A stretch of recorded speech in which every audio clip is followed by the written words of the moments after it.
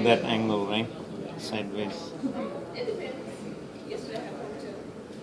Give me a second. Okay. Okay. Um, we'll talk about the integumentary system. When you say integument, you're talking about the skin, but when you're talking about the integumentary system, it includes your hair and nail. Uh, together, we call it the system.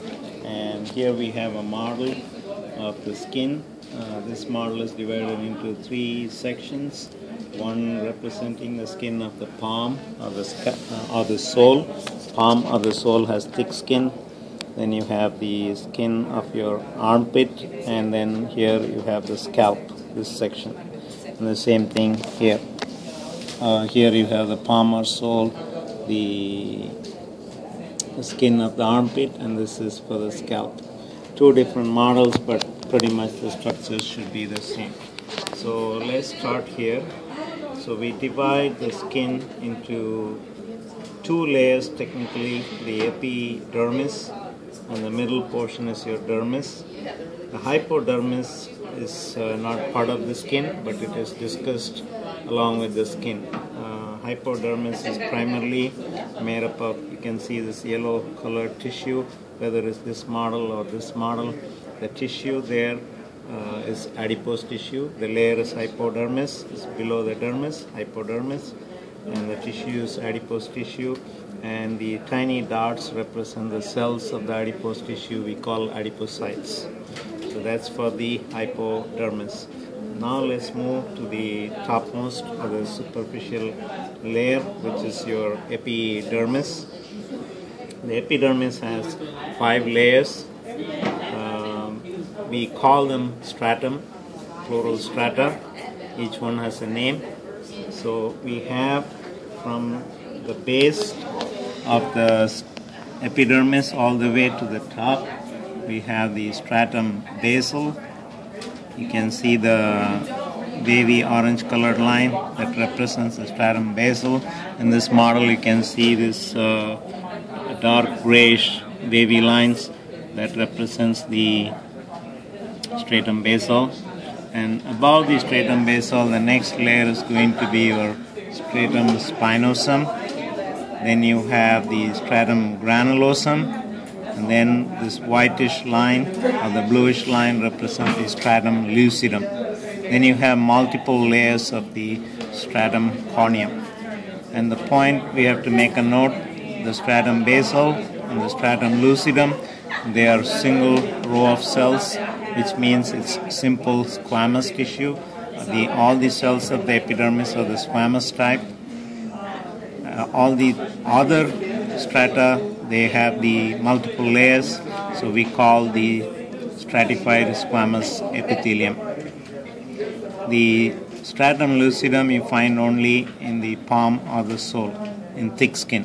Otherwise you don't see that. And also if you see the epidermis is much thicker in the palm or sole compared to the rest of your body okay so there's a way you can remember all the strata from the top to the bottom, meaning stratum corneum, stratum lucidum, stratum granulosum, stratum spinosum, and stratum basal. This is a mnemonic we can use.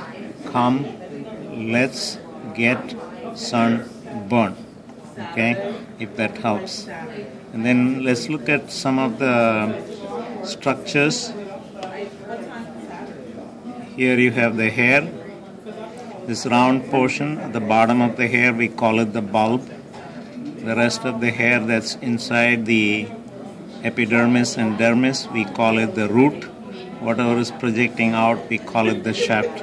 So if you look at this model also, you can see the bulb, the root, and the shaft of the hair. Then attached to the hair, you'll find uh, the oil gland, we call it the sebaceous gland. It produces sebum, S-E-B-U-M, sebum. It's an oily, fatty secretion. It's like a natural moisturizer for the skin. And there's a tiny muscle attached to the hair. It helps to make the hair stand erect. So we call it piloerector. Pilus means hair. Piloerector muscle. And then we have some other glands we call the sweat glands Um, the sweat glands are also called as sudoriferous glands.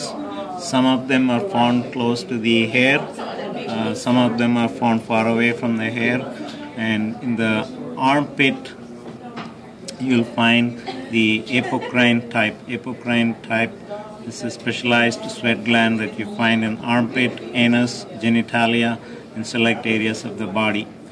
But otherwise, you find the sudoriferous glands of the merocrine type. So there are two types, apocrine, which is found in select parts of the body, and then the others, the most common ones are the merocrine type.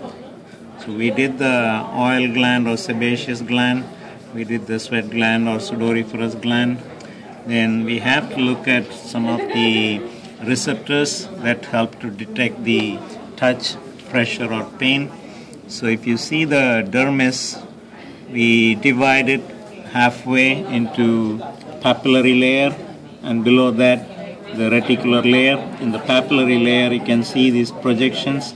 Though the finger-like projections are called the dermal papillae. You can see them better here. So that's why they give the name papillary layer for the superior layer of the dermis. And mainly you have dense connective tissue in this in the dermis. And if you look at each papilla inside, you see the nerve ending and a bulb-like structure here. That's your touch receptor, also called Meissner's corpuscle, that helps to detect gentle touch. Whereas down here, you have another structure which is the Pacinian corpuscle, uh, helps to detect pain and pressure. So if you want, you can remember M for mild touch, M for My- Meissner's corpuscle, P for pressure and pain, P for Pacinian corpuscle.